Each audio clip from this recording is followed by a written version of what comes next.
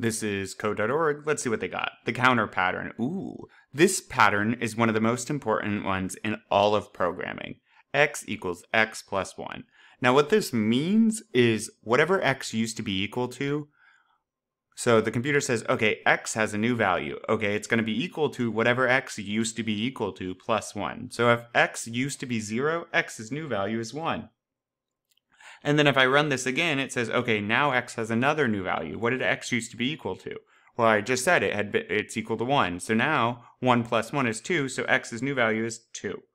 It is used to increase the value of a variable by 1. You might call it the counter pattern since it can be used to make a variable that counts up.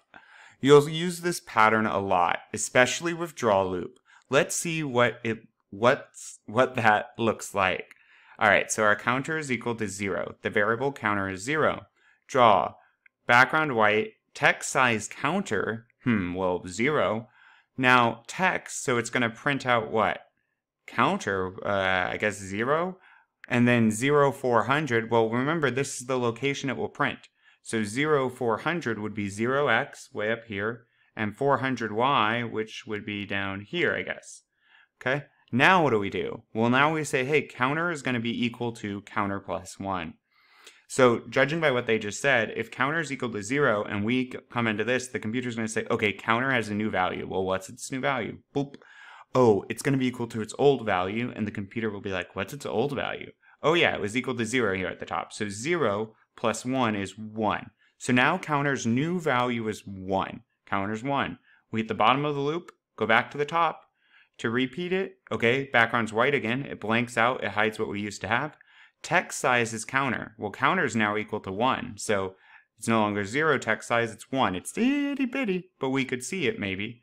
Text is going to be counter. Well, what's counter? Counter's the number 1. And it's still at 0, 400. Then we hit this line again. Okay, counter has a new value. What's its new value?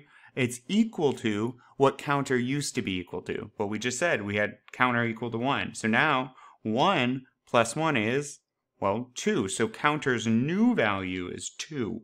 Hit the bottom, zoop, background's white. Counter text size, well, counter is equal to 2 now, so the text size is 2.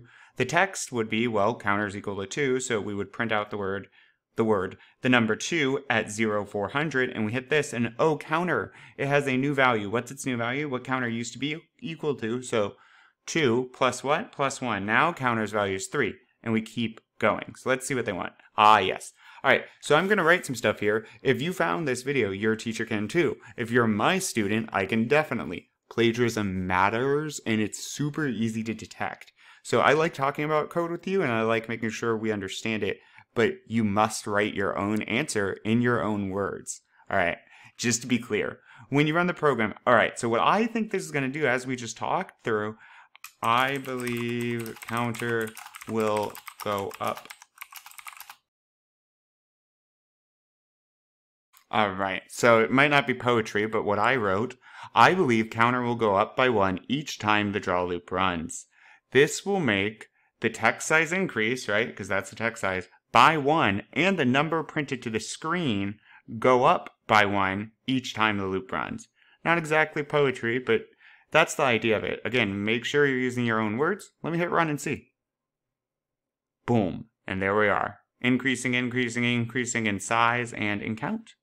Kind of cool. I can't wait to see what we're doing with this stuff. Onward.